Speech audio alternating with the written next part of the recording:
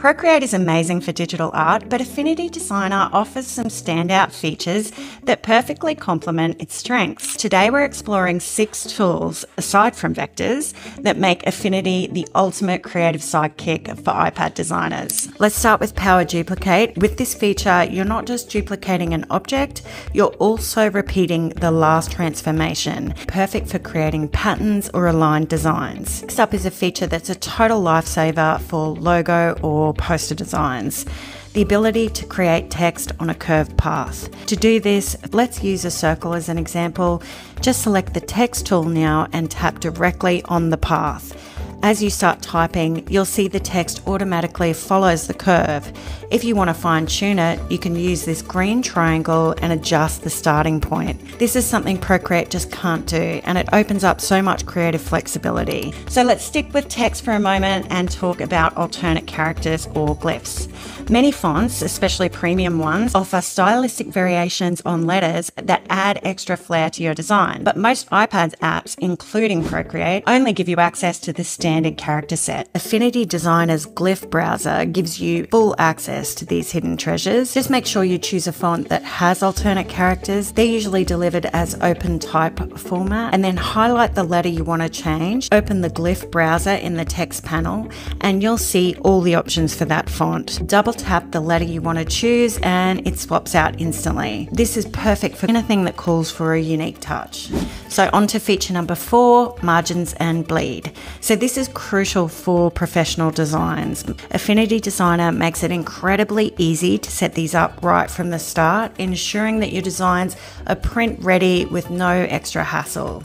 When creating a new document, you can define margins to keep important content in the safe zones and set bleed areas to extend your artwork out beyond the edges.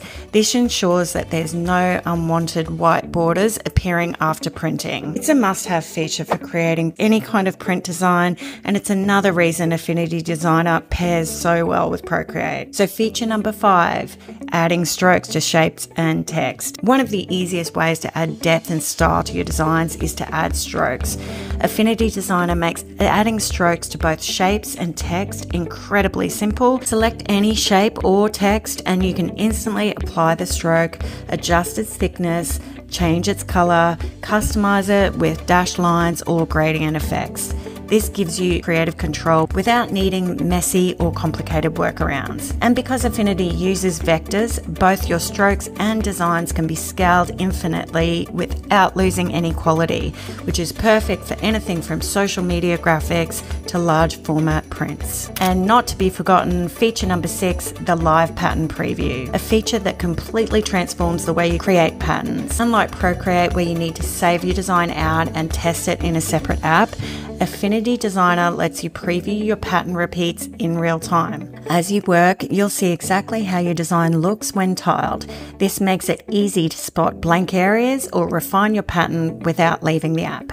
This feature isn't just a time saver, it's incredibly intuitive, making it easier to create seamless, professional patterns for everything from wallpaper to fabric design. Don't get me wrong, Procreate is still an amazing app in its own right. Its intuitive interface and amazing tools make it a favorite for digital art. But when you pair it with Affinity Designer, you unlock a whole new level of creative possibilities. If you're ready to dive deeper into what Affinity Designer can do, check out my full Affinity Designer walkthrough video. I'll guide you through the interface and tips to get you started right away. Thanks for watching and if you found this video helpful, like and subscribe so you never miss a video. I'll see you in the next one.